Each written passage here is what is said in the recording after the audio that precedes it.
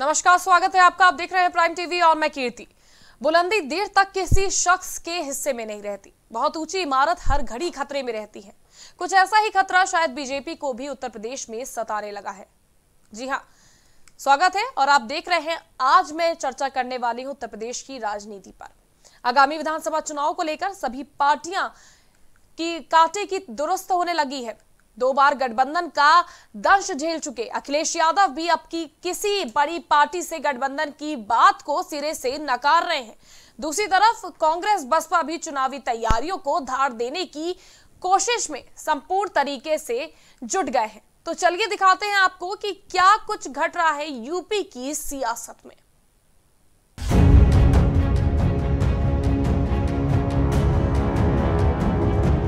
भारत में जितने त्योहार होते हैं, उतने ही बार देश में चुनाव भी होते हैं। और हो भी क्यों ना? विश्व का सबसे बड़ा डेमोक्रेटिक देश भारत जो है। तभी तो एक चुनाव गया नहीं कि लोग यूपी के विधानसभा चुनाव के काउंटडाउन में जुट गए। जी हाँ उत्तर प्रदेश की सियासत में एक बार फिर से गर्माहट पैदा हो गई है।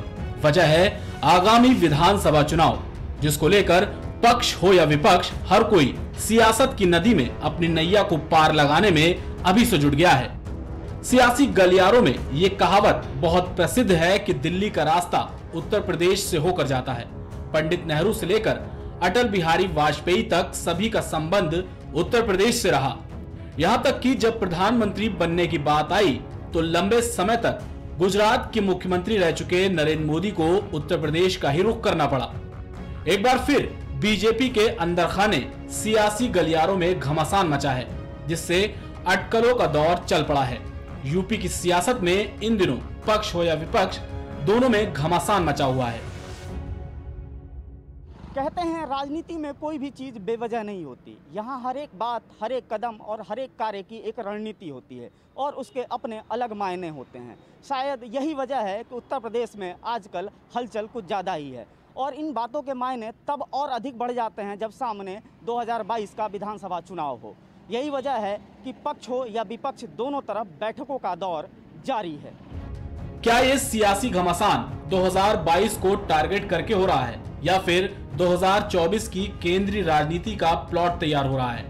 राजनीति में राजनेता दूर की सोच कर निर्णय लेते हैं। शहमात का खेल चलता रहता है और अचानक से कोई विजयी की भूमिका में सामने आ जाता है।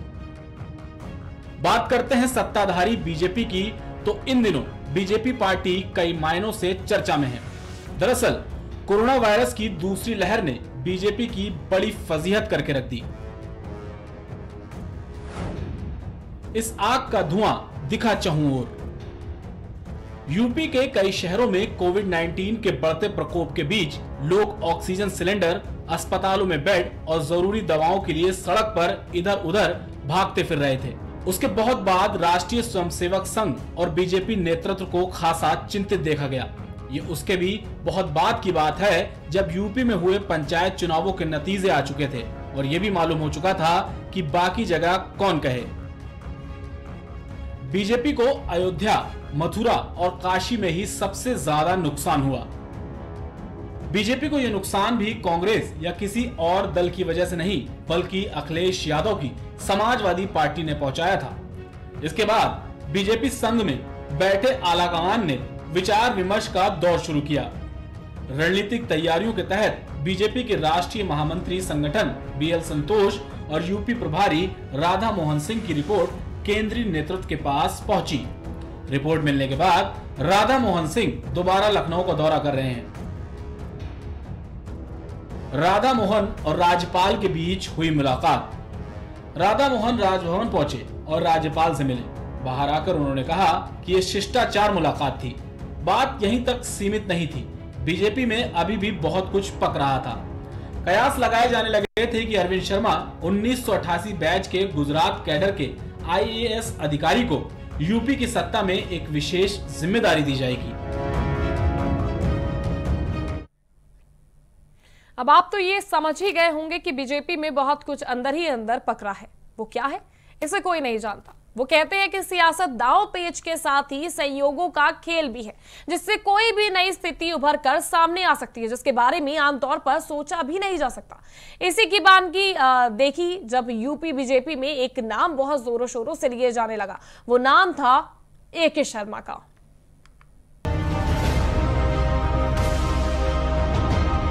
ए के शर्मा एक ऐसा नाम जो बीजेपी और सत्ता की गलियारों में तेज़ी से लिया जाने लगा। हर ओर बस यही चर्चा थी कि क्या ए के शर्मा को कुछ बड़ी ज़िम्मेदारी मिलेगी।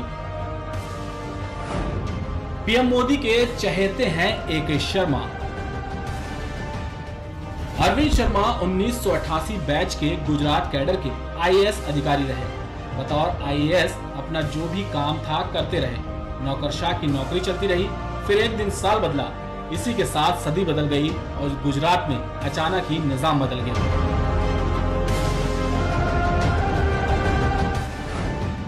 भुज भूकंप ने बदल दी तकदीर। 2001 भुज भूकंप के बाद सूबे की सत्ता का बोझ सीएम केशुभाई पटेल के बूढ़े कंधों से उतारकर नरेंद्र मोदी नाम के एक कर्तव्यनिष्ठ प्रचारक के सिर पर ताज बनाकर सजा दिया गया था। कई मौकों पर जीता पीएम मोदी का भरोसा। कई मामले आए, जब शर्मा ने पीएम मोदी के प्रति अपने विश्वास को और पुख्ता किया, तब के सीएम के नयन तारे फिर तो। मीडिया रिपोर्ट भी कहती है कि शर्मा इतने प्रिय रहे कि जहाँ जहाँ मोदी गए, अरविंद कुमार शर्मा वहाँ वहाँ नज़र आए। 14 जनवरी 2021 को हुए भाजपा में शामिल। अरविंद शर्मा ने 12 जनवरी 2021 को वीआरएस ले लिया। उनकी सेवानिवृत्ति में दो साल बचे रह गए थे। इसी साल 14 जनवरी को उन्होंने लखनऊ में भाजपा की सदस्यता ली। फिर एमएलसी बनाए गए। तभी से डिप्टी सीएम बनाए जाने की चर्चा जारी थी। लेकिन इन चर्चाओं को तब विराम लग गया जब उन्हें पार्टी ने प्रदेश उपाध्यक्ष के पद पर बैठा दिया। राजनीतिक दल इन दिनों सियासत के शतरंज में अपनी चाल काफ़ी नाप तोल के चल रहे हैं। अखिलेश का कहना है कि वो किसी भी बड़े दल के साथ गठबंधन नहीं करेंगे। वहीं मायावती गिरते जनाधार के बीच दबी आवाज़ में चुनाव लड़ने का ऐलान कर रही है। तो वहीं कांग्रेस अभी भी यूपी में अपनी ज़मीन को तलाश रही है।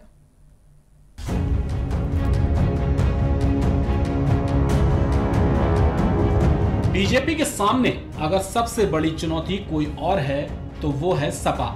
एक अखिलेश ही हैं जो बीजेपी के सामने एक दीवार बनकर खड़े हुए हैं। विधानसभा चुनाव की तैयारी के लिहाज से राजनीतिक पार्टियों की सक्रियता की बात करें तो सत्तारूढ़ बीजेपी के बाद समाजवादी पार्टी ज़्यादा सक्रिय दिख रही है। सपा छोटे दलों से गठबंधन और दूसरी पार्टियों के बागी नेताओं के लिए अखिलेश ने दरवाज़ा खोल रखा है। कुछ दिन पहले बसपा से बागी विधायकों से अखिलेश की मुलाकात उनके इसी एजेंडे का हिस्सा बताया जा रहा है। मायावती जहाँ एक तरफ़ तैयारियों से इतर विधायकों को बाहर का रास्ता दिखा रही हैं, तो वहीं कांग्रेस अभी भी अपनी ज़मीन को तलाशने में दिखाई दे रही है। इन सब के बीच नेताओं की दल बदलने की राजनीति भी शुरू हो गई है।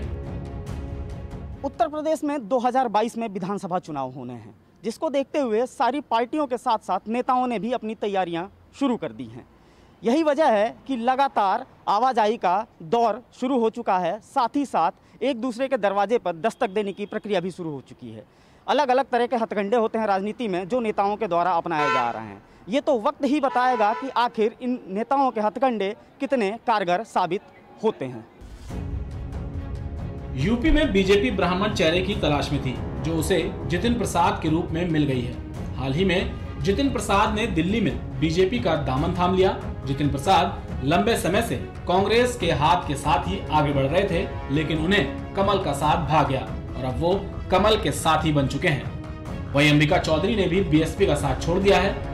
उनके पार्टी छोड़ते ही सपा ने उनके बेटे को जिला पंचायत अध्यक्ष के उम्मीदवार के तौर पर घोषित कर दिया है। सपा आधी अधूरी तैयारियों से आगे बढ़ रही है। बसपा का गिरता जनाधार और दिग्गजों का छूटता साथ है तो वहीं कांग्रेस अभी भी नहीं समझ पा रही है कि उसे क्या करना है।